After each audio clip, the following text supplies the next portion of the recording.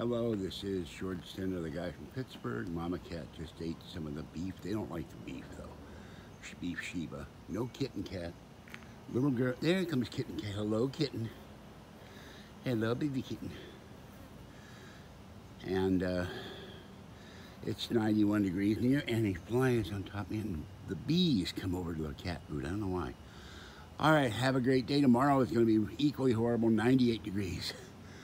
This is George Senda, the guy from Pittsburgh. Have a great night. Bye-bye, kitties. I'll see you later. Love the kitties.